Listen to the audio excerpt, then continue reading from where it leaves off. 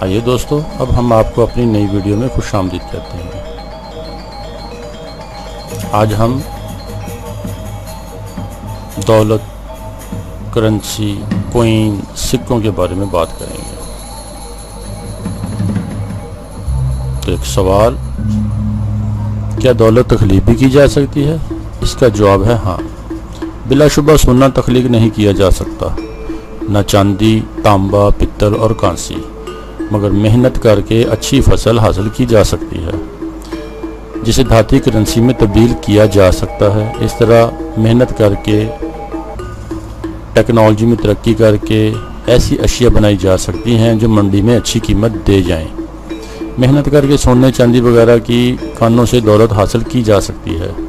یعنی دولت محنت سے تخلیق ہوتی ہے اور محنت کرنے والے مزدور ہی ہمیشہ سے دولت کے تخلیق کرنے والے رہے ہیں۔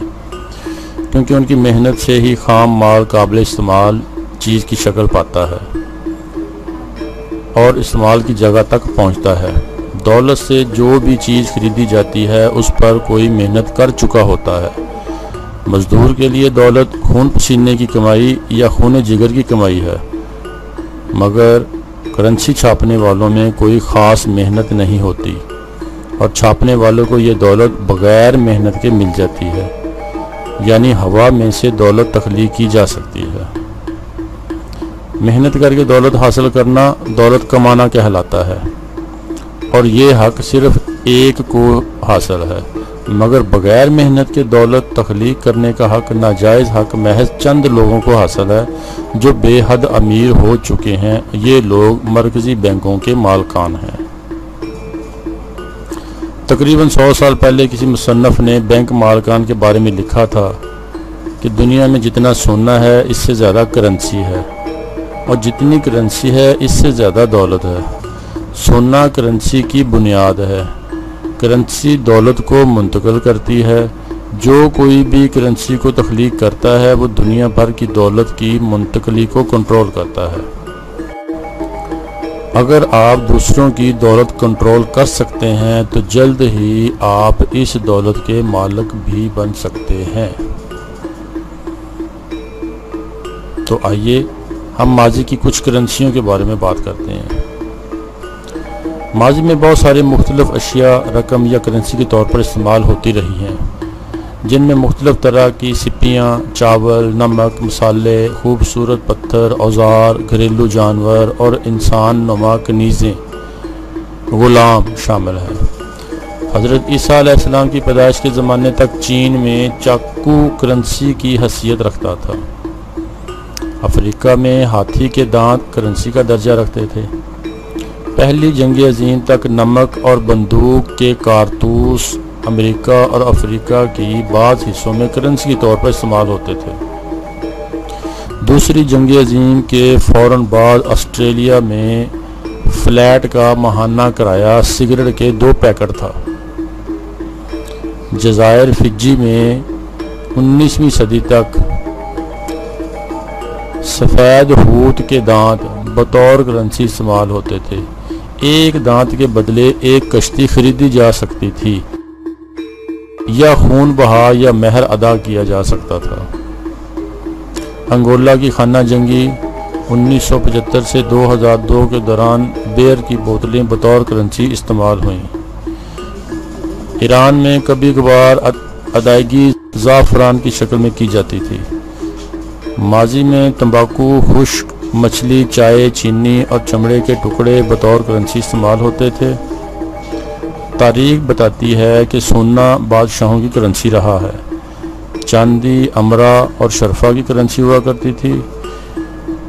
چیز کے بدلے چیز کا نظام یعنی بارٹر سسٹم کسانوں اور مزدوروں کی کرنسی تھی اور قرض غلاموں کی کرنسی ہوا کرتی تھی۔ کاغذی کرنسی سے مراد ایسی چیز ہوتی ہے جس کے بدلے دوسری چیزیں خریدی یا بیچی جا سکتی ہیں۔ اگر یہ چیز کاغذ کی بنی ہوئی ہے تو کاغذی کرنسی کہلائے گی۔ ماضی میں کرنسی مختلف دھاتوں کی بنی ہوتی تھیں، اب بھی چھوٹی مالیت کے سکے دھاتوں سے ہی بنائے جاتے ہیں۔ کمپیوٹر کی ایجاد کے بعد کاغذی کرنسی بتدریج ڈیجیٹل کرنسی میں تبدیل ہوتی جا رہی ہے۔ ساڑھے تین سال کی مدت سے پانچ ہزار چھ سو میل کا سفر طے کر کے جب مئی بارہ سو پچہتر میں مارکو پولو پہلی دفعہ چین پہنچا تو چار چیزیں دیکھ کر بہت حیران ہوا۔ یہ چیزیں تھیں جلنے والا پتھر، کوئلہ۔ نہ جلنے والے کپڑے کا دسترخوان، کاغذی کرنسی اور شاہی ڈاک کا نظام۔ مارکو پولو لکھتا ہے کہ آپ کہہ سکتے ہیں کہ قبلائی خان کو کیمیا گری یعنی سونا بنانے کے فن میں مہارت حاصل تھی۔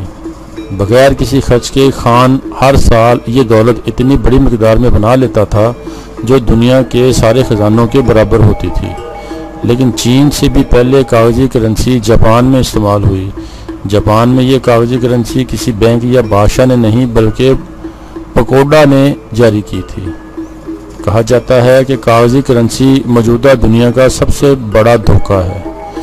جولائی دو ہزار چھ کے ایک جزیرہ ویسل بلور کی ایک مضمون کا عنوان ہے کہ ڈالر جاری کرنے والا امریکی سینٹرل بینک فیڈرل ریزور اس صدی کا سب سے بڑا دھوکہ ہے۔ بینک مالکان پوری دنیا کے مالک ہیں۔ اگر یہ دنیا ان سے چھن بھی جائے، لیکن ان کے پاس کرنسی بنانے کا اختیار باقی رہے، تو وہ بھی جنبش قلم سے اتنی کرنسی بنا لیں گے کہ دوبارہ دنیا خرید لیں۔ اگر تم چاہتے ہو کہ بینک مالکان کی غلامی کرتے رہو اور اپنی غلامی کی قیمت بھی ادا کرتے رہو، تو بینک مالکان کو کرنسی بنانے دو اور قرضے کنٹرول کرنے دو۔ بینجمن ڈی اسرائیلی نے کہا کہ یہ بڑی اچھی بات ہے کہ ملک کے عوام، بینکاری اور مالیاتی نظام کے بارے میں کچھ نہیں جانتے۔ کیونکہ اگر وہ یہ سب جانتے تو مجھے یقین تھا کہ کل صبح سے پہلے بغاوت ہو جاتی۔ انیس سو اٹھتی میں کہا تھا کہ مجھے کسی ملک کی کرنسی کنٹرول کرنے دو، پھر مجھے پرواہ نہیں قانون کون بناتا ہے۔ دوستو، آپ کو ہماری ویڈیو پسند آئے تو سبسکرائب کریں لائک کریں شیئر کریں